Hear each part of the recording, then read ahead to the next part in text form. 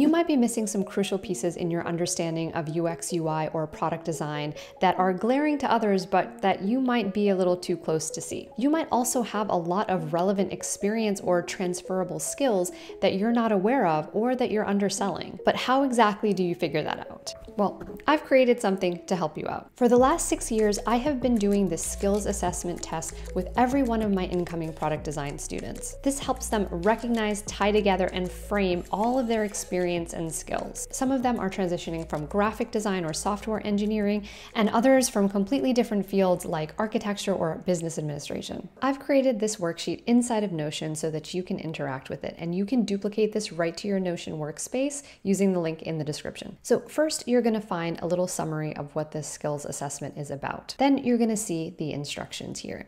So basically, this revolves around a database table with a skills chart.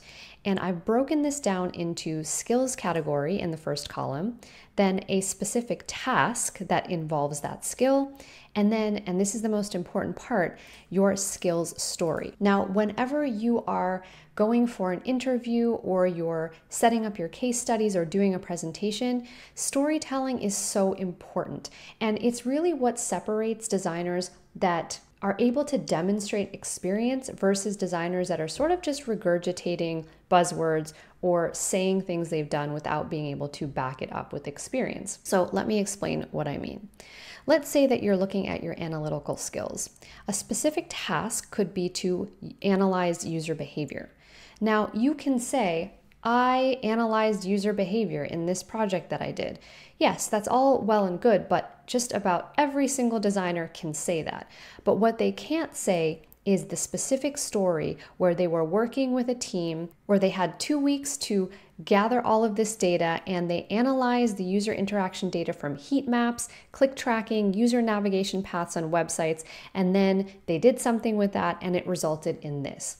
That is a really specific story that only you can tell from your experience. And that's what we mean about storytelling and skills stories. So each one of these has an example story to inspire you and kick it off. Now, for each one of these general skills categories, you can give yourself a rating. So you can just put in a number here, let's say five, and then that can just be based on how confident you are, how many skill stories and touch points of experience you have doing this particular skill or how many tasks you've done inside of this skill category.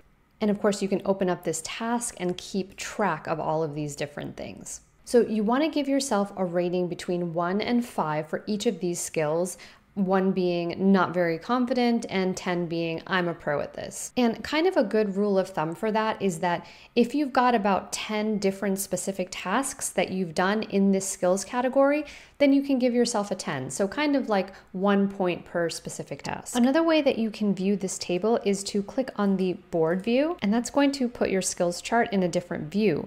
And that way you can more easily visually add specific tasks to the different skills categories. So you can add another example of an analytical task by clicking on new and then just typing in the task and adding in your skills story.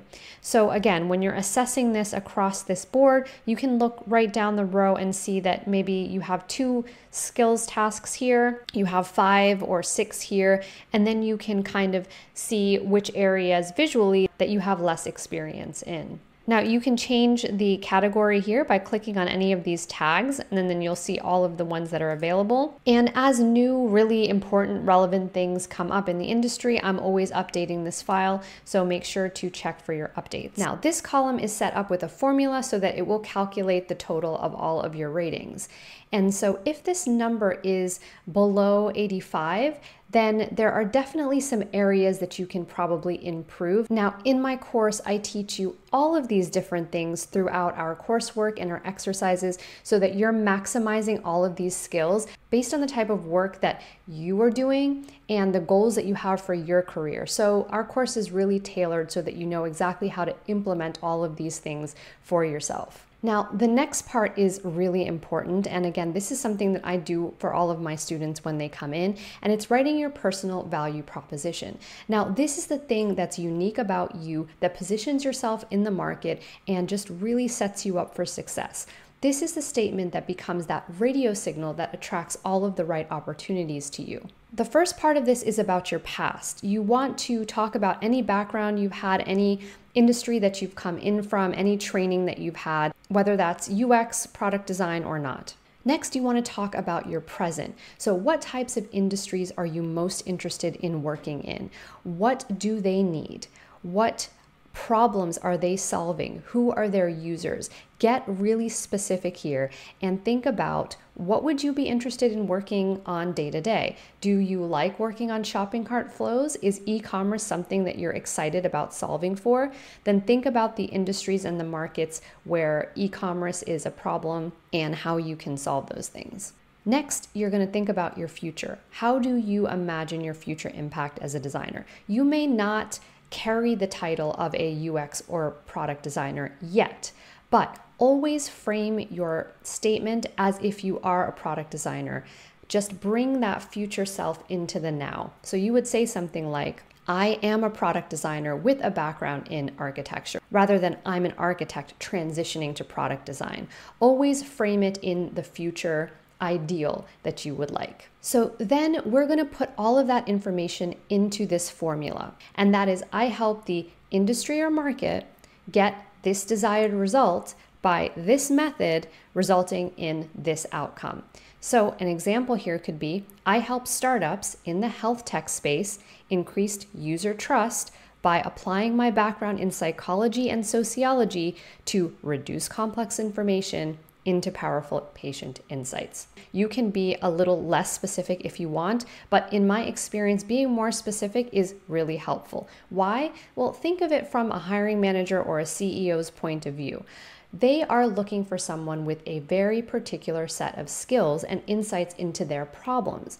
I, in that position, would much rather hire someone that really is dialed into my market and my industry than someone that is a total generalist and may have done a lot of different random projects but can't hit the ground running in my company. Now you can use this assessment and all of this self work that you've done to really create portfolio projects and frame your case studies in a way that really makes you stand out. And if you want to do that with me, then you should definitely check out our course. It's super affordable. There are tons of students doing real projects together in here, and you will have such a head start in this crazy market, and you'll be able to get ahead, stand out, and feel confident no matter what stage of your journey you're in. So, there is another useful video about nine actionable things that you can do right now to get ahead in this insane job market. So, check out that video next.